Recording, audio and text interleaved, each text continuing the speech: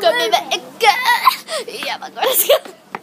Hey, I got. Um, this is cute boy and Eva likes him. He's over there. Yeah. How how crash him? Did yours start at five thirty?